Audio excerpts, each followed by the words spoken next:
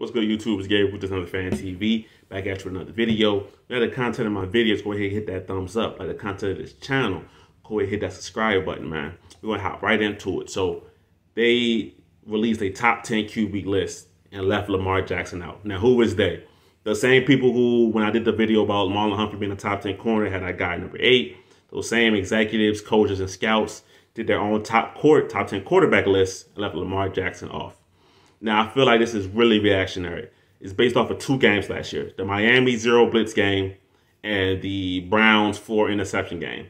Now, unfortunately for Lamar Jackson, both of those games happened to be on primetime television, right? So that means the whole world saw it. And I feel like guys are being really reactionary towards those two games. But before all of that, the Ravens were 8 and 3, number one seed in the NFL with all the injuries. And Lamar Jackson was firmly and the MVP candidate. To me, he was the MVP at that point in time. Now we have those two bad games. It kind of, I think it erased a lot of stuff for Lamar Jackson. Then he gets hurt. So now it ends off on a bad note. So I feel like this list is really, really reactionary. But we're going to go through it and see the disagreements, okay? Now, their top 10 list consists of Dak Prescott at 10, Deshaun Watson at 9, Russell Wilson at 8, uh, uh, Justin Herbert at 7, Matthew Stafford at 6, Joe Burrow at five, Tom Brady at four, Josh Allen at three, Patrick Mahomes at two, Aaron Rodgers at one. Okay. Now the top four, I don't have too much complaints with. You can shuffle, you can shuffle maybe around here and there. I don't have too much complaints with that. Okay. Dak at number 10, I'm fine with that. I think Dak has done enough to stay there. Deshaun Watson at nine. He hasn't played football nearly a, uh, a year and a half. Um, when last time he played football, didn't contribute to winning. Um, he put up a lot of numbers a lot of numbers on a Texan team that wasn't very good, wasn't going anywhere, but I need to see him play football again before I can put him in that, that top 10 list. All right. Um, and Joe Burrow at five for me, way too high. That's just my opinion. Now, I did my own list because I believe if you're going to disagree with a list, make your own list and show me what you got, right? So this is so so this is my list when it comes to top 10 quarterbacks in the NFL. All right. So 10, Dak Prescott still, uh, Russell Wilson at nine, Justin Herbert at eight, Joe Burrow at seven, uh, Matthew Stafford at six, Josh Allen at five, Lamar Jackson at four, Tom Brady at three, Patrick Mahomes two, Aaron Rodgers one. Now, like I said, that top of the list, I couldn't disagree with too much on the original list. So Aaron Rodgers, you know, Patrick Mahomes, top two guys, I got no issue with that. I'm gonna slide Tom Brady in there. He's still playing really well, still playing at a high, high level. Now, Lamar Jackson and Josh Allen four and five. If you want to say Josh Allen is four and Lamar is five, I got no problem with that. Uh, to me, you can flip them. You can flip those two guys. It's all about preference. Okay. Now, um, like I said, it's all about preference when it comes to those two. My preference obviously is going to be Lamar Jackson on, on that front. But Lamar has to be a top five quarterback. I'm sorry. He cannot be lower than five. All right. Matt Stafford, six, uh, playoff success, got the Super Bowl, and also he's always been a good quarterback. You know, the Lions just didn't have a lot of talent around him.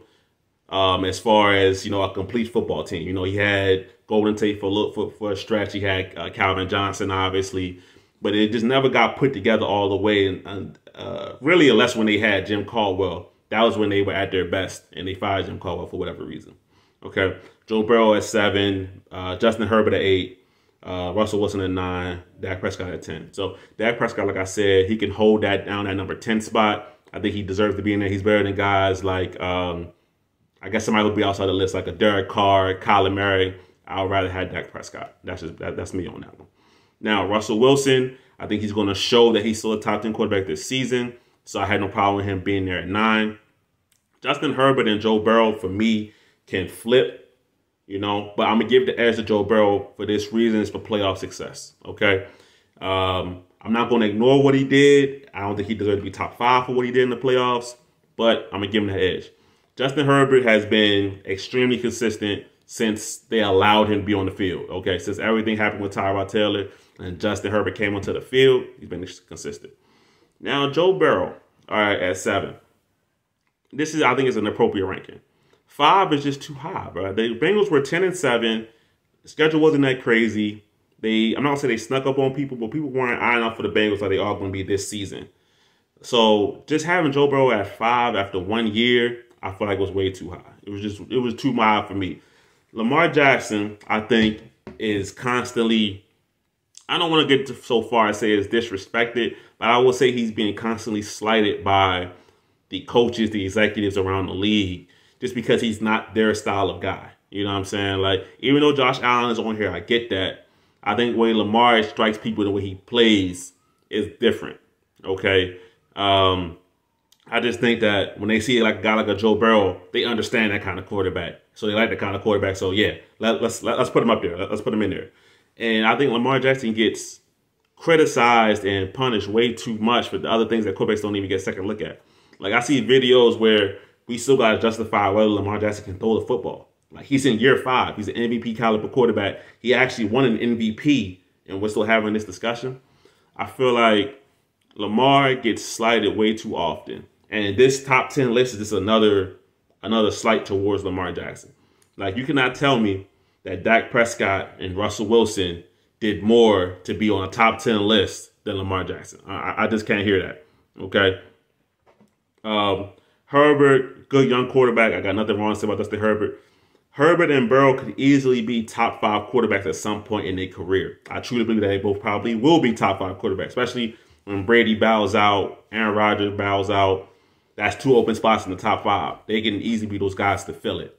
But right now, Burrow at five was just too high for me. Way too high. I'm sorry. Okay.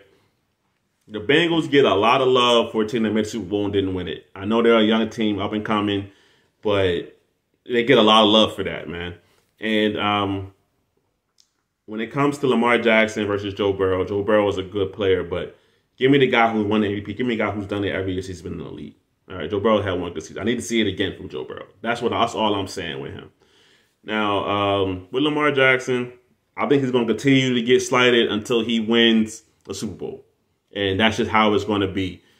That's his criteria. It's not every other quarterback's criteria, but for some reason, for Lamar Jackson, he has to prove that he can win it all to be a successful quarterback. He's won his playoff games, and he's won a playoff game. Now it went from oh he can't win a playoff game to now he can't win a championship. So until he actually wins Super Bowl, the goalpost is going to constantly and continuously move for Lamar Jackson. That's just how I feel about this list.